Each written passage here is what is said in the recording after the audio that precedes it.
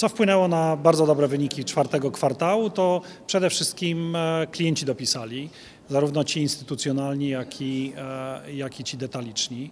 E, mm, e, Kredyty wzrosły ponad 7% rok do roku, zaś depozyty 4%. E, To pokazuje, że klienci, pomimo iż warunki makroekonomiczne się zmieniają, nadal są w dobrej formie, a przede wszystkim trafiamy do nich z tą ofertą, która jest im potrzebna. Nasza oferta numer jeden Banku Globalnego w Polsce e, mm, służy tym wszystkim, którzy idą za granicę, e, jak również tym z zagranicy, którzy przychodzą do Polski. Także to był dobry kwartał, e, dobra dynamika tych podstawowych parametrów biznesowych, wolumeny kredytowe, depozytowe, no i mm, powrót w zakresie ryzyka do tego, co było długoterminowym poziomem w City handlowym.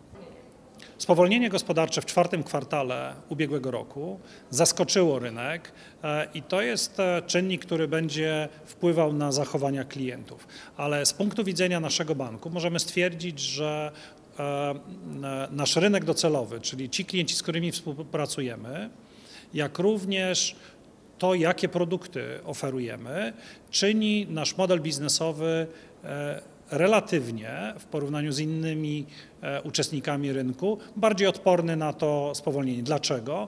Ano dlatego, że e, klienci nasi mają zdywersyfikowany rynek, nie tylko sprzedają w Polsce, ale również za granicą. Nasi klienci indywidualni e, zwykle są bardziej zamożni, wydają swoje pieniądze i w Polsce, i za granicą, czyli w jakiś sposób redukują to ryzyko e, polskiego rynku, które, e, to trzeba podkreślić, e, e, w ubiegłym, końcówka ubiegłego roku e, była dużym zaskoczeniem, natomiast e, mamy nadzieję, że w tym roku nadal e, gospodarka wzrośnie około 3%. 3%, czyli w warunkach europejskich to będzie bardzo przyzwoity poziom. Niska rentowność powoduje, że dla części uczestników rynku działalność staje się e, e, nierentowna. E, Tworzy się nowe miejsce, klienci szukają nowych partnerów bankowych i City Handlowy korzysta z tej konsolidacji w sposób organiczny, odbudowując nasz, nasze udziały w rynku. Jeżeli chodzi o czynniki sukcesu w roku 2020, to widzimy dużą aktywność funduszy private equity.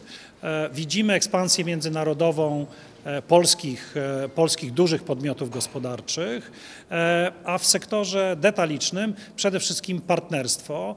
E, Uruchomiliśmy współpracę e, z firmą BP.